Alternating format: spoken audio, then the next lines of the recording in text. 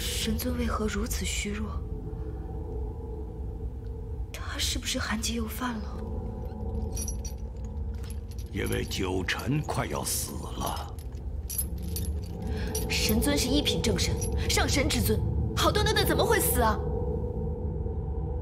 他体内的精气正在一点一点的溃散流失，这足以要了他的命。啊，你不知道吧？刚才他背着你吐了一口血，那口血正是他的心脉精血。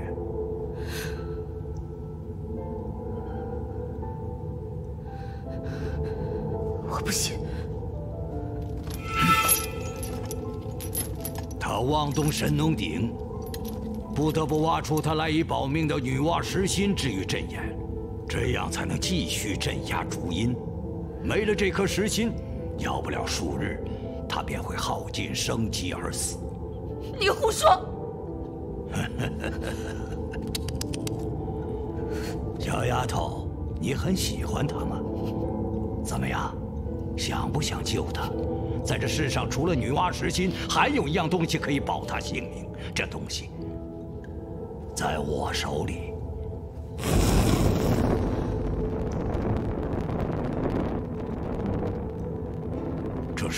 是火，神祝融自胎里带来的万火真元。有了此物，不但能代替女娲石心为他提供生机，而且还能彻底根治他的寒疾。这可是六界难寻的宝贝呀！本座只要你的二十，换不换？你的火晶。的身体吗？什么？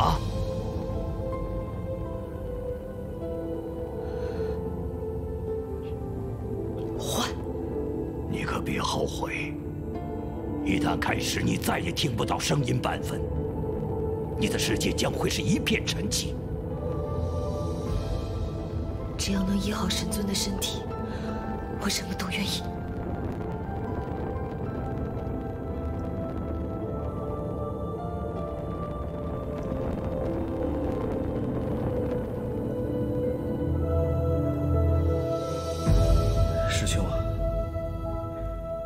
这天地间除了魔君，还有谁能伤你至此？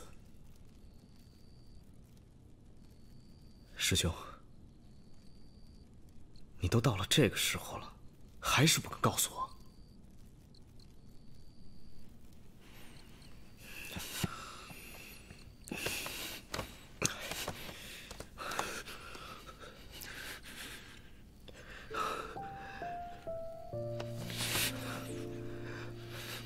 为何没有脉象？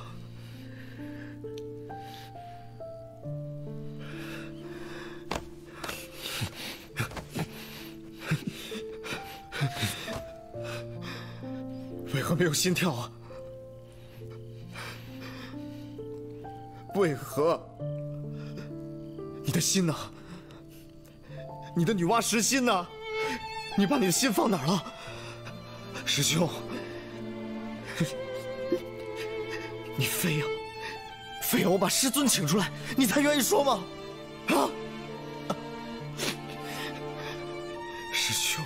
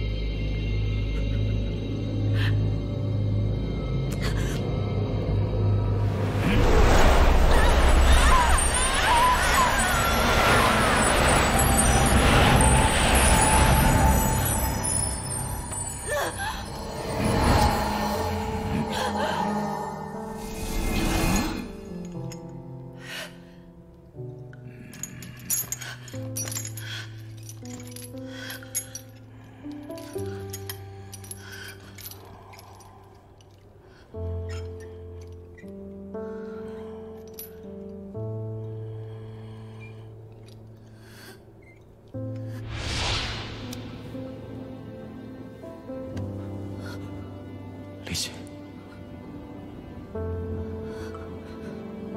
跟我走，我会保护你，不会让别人伤害你。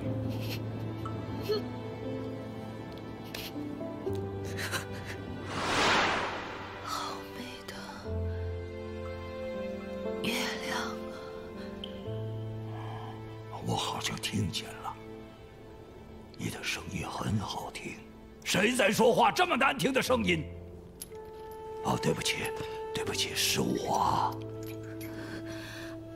火精，火精？什么火精？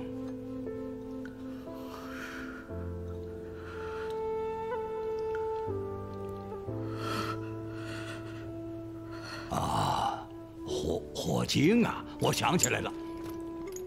嗯，虽然也没什么用，不过毕竟也是件宝贝啊。可惜了。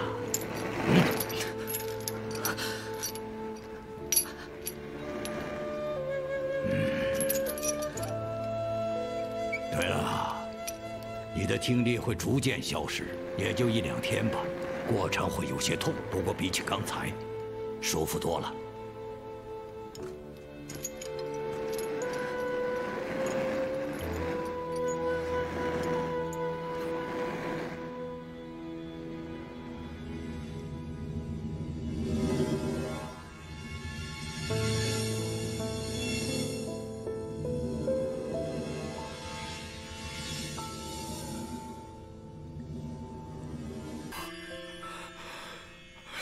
在这儿，你把你的心，你把你的女娲石心去镇锁妖塔了。你要去哪？我要去换回你的心。不可以，师兄，没有神农鼎，灵犀就会死。灵犀，灵犀，满脑子都是灵犀。你知不知道，要是没有女娲石心的话，你也会死的。一切因我而生，就需要我来终结。那天宫呢？那六界苍生呢？你是司战之神呐！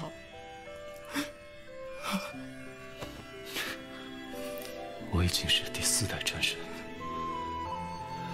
战神也是会死的。我还能为你做些什么？助我暂保溃散生机，送灵犀下凡，渡三劫化魔气。渡三劫，化魔气。